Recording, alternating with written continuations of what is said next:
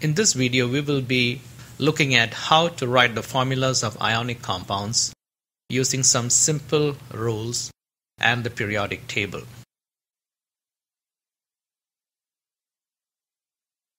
First, we will take a look at the ionic compounds and their properties. Generally speaking, ionic compounds are formed between positive ions and negative ions. Metals usually form positive ions, and nonmetals form negative ions.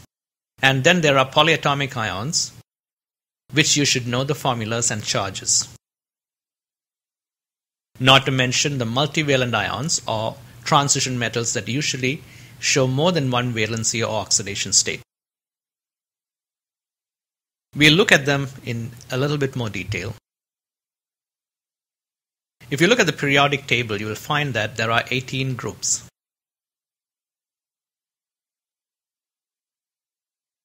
The valency of group 1 elements is positive 1 since they have one electron in the valence shell and valencies of group 2 elements are positive 2 because there are, they have two electrons in the valence shell. If you go to group 15, the nonmetals, they need 3 electrons to become stable. Hence, the oxidation number or valency becomes minus 3. For group 16, the oxidation number or valency is going to be minus 2 because it needs to gain 2 electrons to become completely stable. And for group 17, it would need 1 electron, therefore the oxidation number or valency would be minus 1. So this is pretty simple and straightforward. So if you can remember this, or look at the periodic table and come up with the oxidation numbers or valencies of group 1 and 2, group 15, 16 and 17, most of your problems are solved in terms of valencies. So you don't need to memorize them. All you need is to recognize how you can assign oxidation numbers or valencies to these elements. Group 1 and group 2 elements cannot have variable valencies and therefore all the time all elements will have the same valencies as indicated in this case. If you go to elements between groups 3 and 12, they are transition metals, they tend to have more than one valencies. You will learn how to determine the oxidation number or valencies of these in higher classes, but in lower classes, understanding which elements will have more than one valency is helpful. Most of the time, the name of the compound indicates the oxidation state or valency of these elements. To look in detail, Group 1 elements in general have a valency of plus 1. Group 2 metals have a valency of plus 2. Group 13 elements have a valency of plus 3. Transition metals between groups 2 and 13 have a variable valency, therefore they can have more than one valencies. Nonmetals tend to form anions by gaining electrons. Group 17 elements would have an oxidation state of minus 1 or valency of minus 1. Group 16, as we already stated, minus 2. Group 15 has a valency of minus 3. These are the common valencies that we will be using. Here are some examples of multivalent ions, and these multivalent ions are positive ions, therefore they are also called cations. Iron has two positive and three positive valencies. Copper forms plus 1 and plus 2 valencies. Lead forms 2 plus and 4 plus. Tin forms 2 plus and 4 plus. Mercury forms 1 plus and 2 plus. Polyatomic ions, you got to learn the names and the formulas and the charges. Here, NH4 positive is ammonium ion. It has got an oxidation number or valency of plus 1 for a group of atoms. And this is the only polyatomic ion that you will be learning which has a plus 1 oxidation state. All the other polyatomic ions have negative charges. Phosphate, PO4 3 negative. Sulfate, SO4 2 negative. Carbonate, CO3 2 negative chlorate CO, ClO3 minus or negative 1, C2H3O2 negative 1 which is acetate. Sometimes it's also written as CH3COO negative, sulfite SO3 2 negative, nitrite NO2 negative 1, phosphite PO3 3 negative, and bicarbonate or hydrogen carbonate HCO3 minus.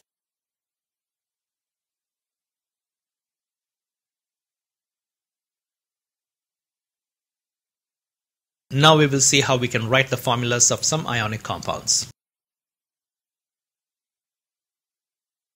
basic assumption is that all ionic compounds, when their formula is written, the net charge of the positive and negative ions that actually constitute the ionic compound will have a charge of zero.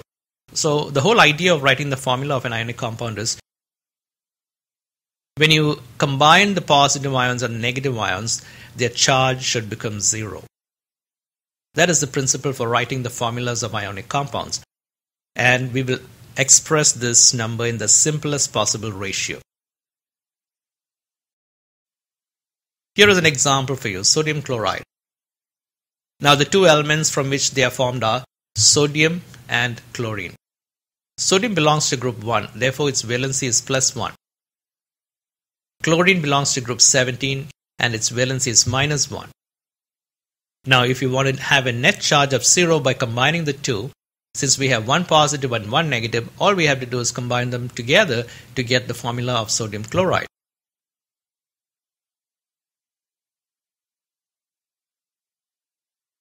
So in this case, the formula of sodium chloride will be NaCl. Let's look at another example. Here we have calcium chloride. Two elements are calcium and chlorine. Calcium belongs to group 2, therefore its valency is plus 2. Chlorine belongs to group 17 and its valency is minus 1. So now if you try to combine the two, you'll find that a 1 to 1 ratio doesn't work here. Since you have two positive and one negative, you need to combine it such that the net charge becomes zero. And while writing the formulas of ionic compounds, you can take as many positive charges or as many negative charges as you need so that when they combine, they have a net charge of zero. Since we have two positives, we need two negatives. For that reason, we will take two chloride ions. So we have two positive charges and two negative charges. So the total charge will be zero if you combine the two together. And when you combine them, this is how you write the formula. Since we have one calcium, we write it as Ca, and we have two chloride ions, we have Cl2, and the formula looks like this CaCl2. Let's look at another example. We have sodium sulfide. The two elements that are present in this compound are sodium and sulfur. Sodium belongs to group 1, therefore its valency is plus 1. Sulfur belongs to group 16, therefore its common valency is minus 2. So you have one positive charge and two negative charges. In order to make the charges equal, you will need two positive charges, which means you need two sodium ions. So, if you take two sodium ions, you have two positive charges. If you take one sulfide ion, you have two negative charges. If you combine the two together, you will get sodium sulfide, which is written like this Na2S. The net charge of sodium and sulfide together is zero in this case.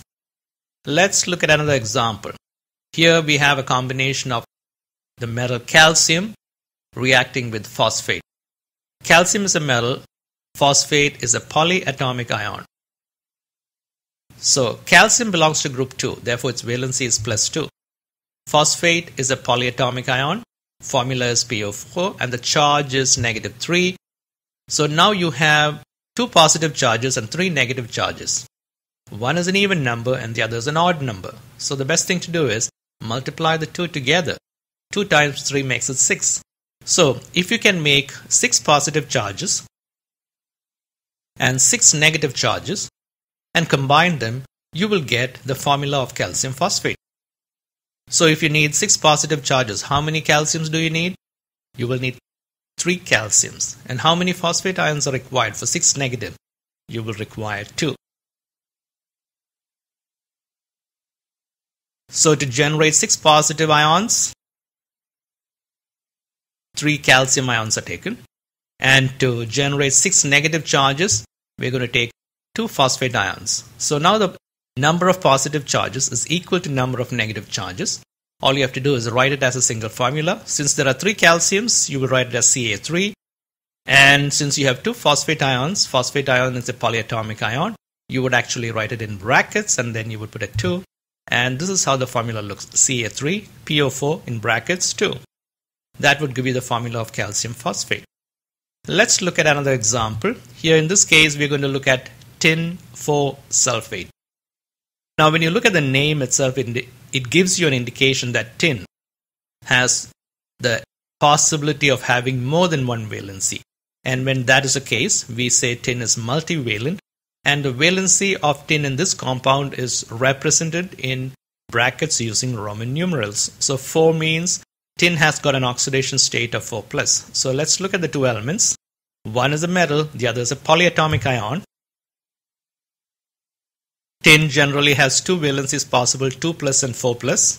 So in this case, tin has got an oxidation number or valency of plus 4 and the polyatomic ion sulfate has a valency of minus 2. So you have 4 positives and 2 negatives. So how many negative charges do you need? Totally 4. For that you will require how many sulfate ions? We will need about 2 sulfate ions.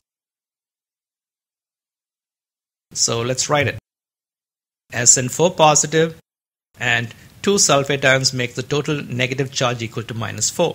If you combine the two together, you can write it as Sn, there is one of them, and sulfate in brackets because it's a polyatomic ion, and two of them. So the final formula of tin 4 sulfate would be Sn SO42.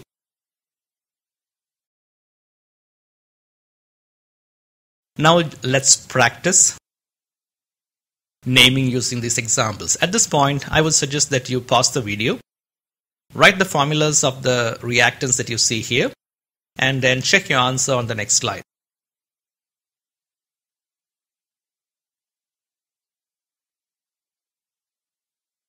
Here are the solutions to your practice questions.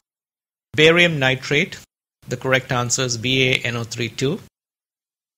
Magnesium sulfide, MgS aluminum carbonate Al2CO3 in brackets three times. Iron 3 nitrate, notice that iron is multivalent, therefore we write the valency in brackets. FeNO3 three times. Lead 4 sulfate, again lead is a multivalent ion, therefore the valency is plus 4 in this case. PbSO4 two times. Calcium phosphide Ca3P2. It's not phosphate, it's phosphide. The ending is IDE, therefore a single element. Sodium hydrogen carbonate or sodium bicarbonate, NaHCO3. That's it for now. If you need more practice, you can go to my website www.vinstan.com or vinstan.com.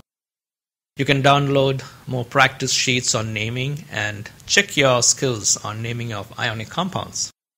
That's it for now. If you like the video, Please don't hesitate to rate, comment, and subscribe. Thank you and have a great day.